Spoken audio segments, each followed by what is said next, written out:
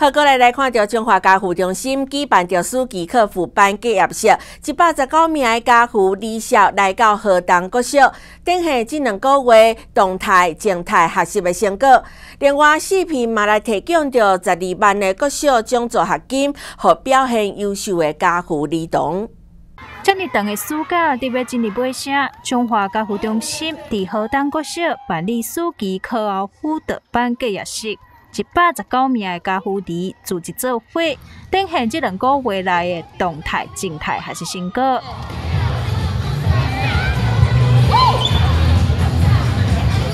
我们家务中心能够啊安排这个这么美好的一个主题客服的活动哈，给小朋友带来了很多的一个。暑期时间能够给家庭啊妈妈减轻了很多的一个啊一个在时间上的一个啊照顾哦啊帮忙了很多啊也感谢我们啊细品公司的徐经理啊能够长期为我们家务中心的这些成员来做一个啊这这个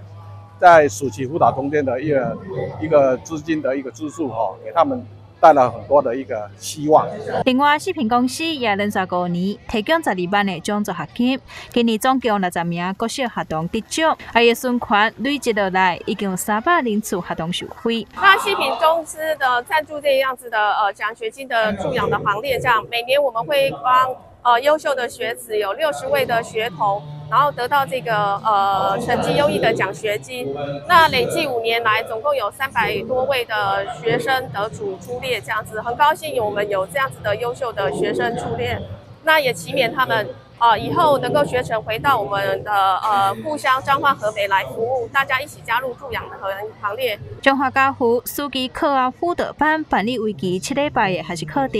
今年总共一百零二位各校学童，以及十七位等来家乡服务的大专生，共同展现敬业百个成果。在等下新歌单当中。家父学童四个静态灯区来分享伫暑期课后辅导班的学习特点，各安排上各班伫四个动态表演，带领囡仔自信上台，展现多元还是成果。在中华新闻叶风雨何必彩虹报道。